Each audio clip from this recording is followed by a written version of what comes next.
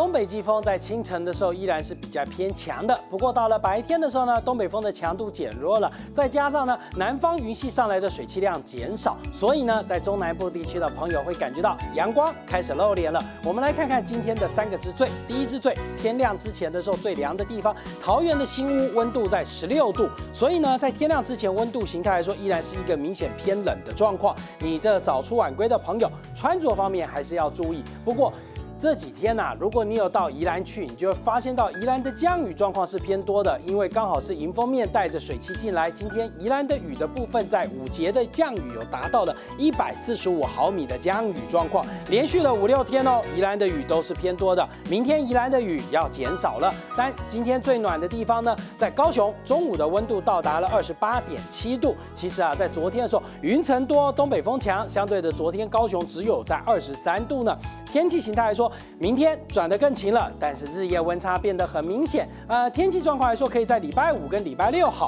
可是到了礼拜天的早上开始，北部要转雨了，气温又要下降了。另外一股东北风再度吹进来，来看到卫星云图了。云图上先来看云层，有没有注意到南方上来的水汽量？昨天有，今天的水汽减少了，但是华南的水汽仍然持续在东移当中，所以中部以北云层量来说，今天依然比较偏多，但降雨状况以东北角。地区的雨比比较明显。接着看到地面天气图了，北方的高压昨天在山东半岛西方的陆地上，今天已经动移到达了黄海了。风场在今天早上还是有东北风进来，到了白天渐渐的变为偏东风。可是迎风面的宜兰的降雨状况在五节是最多的。明天整个高压系统进到了日本的东方海面，我们的风向渐渐由东风转为东南风上来，所以温度状况来说有两天的时间上升，但到了礼拜天封面云带再度接近来。看看这今晚到明天的气温了，可以注意到，在中部以北的低温部分比昨天晚上要相较上升两度左右。